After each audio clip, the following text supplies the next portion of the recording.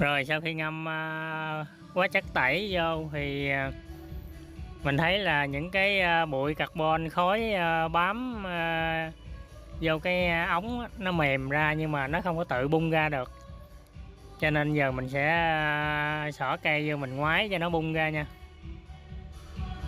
Rồi, hiện đây mình có mua hai miếng cọ nồi. Bây giờ mình sẽ lấy cọng kẽm mình à, quấn cái này để mình à, bấm vô máy khoan, mình đưa cho mình sấy cho nó à, tóc những cái những cái bụi ra nha. Rồi, giờ mình sẽ cột cái đầu bùi nhùi vô cái cọng kẽm nè. Rồi mình đưa vô đây để mình gắn vô cái máy khoan mình ngoái nha. Mình đưa vô đây mình mình thục mình ngoái nó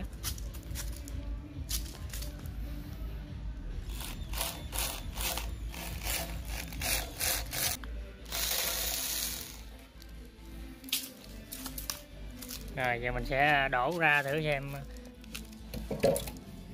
ừ.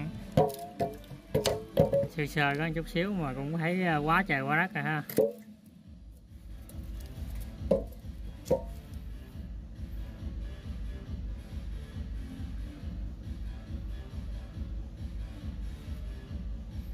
Rồi, còn rất là nhiều nha. Hiện giờ mình sẽ tiếp tục mình làm.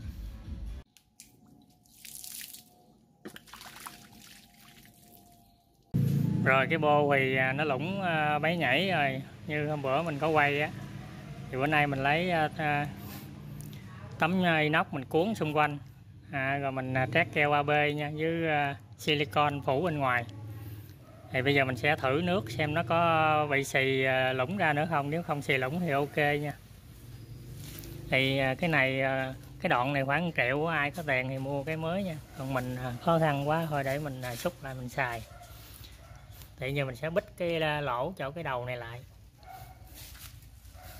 Rồi, ở đây mình sẽ đưa cái dòi nước vô. Rồi mình mở ờ, nước lên xem nó có xì nước chỗ nào không. Nếu nó xì thì ờ, mình biết ngay liền. Đó, cái chỗ mình bít thì không kính cho nên là nó xì như vậy. Rồi trong đây nếu mà có xì nước là nó sẽ phúng tê ra là mình biết nó lủng, mình xì đó, nó xì để mình à, có thể mình à, cám lại nha. Vậy là nguyên cái cây mình thấy là hết xì rồi đó. Là ok vậy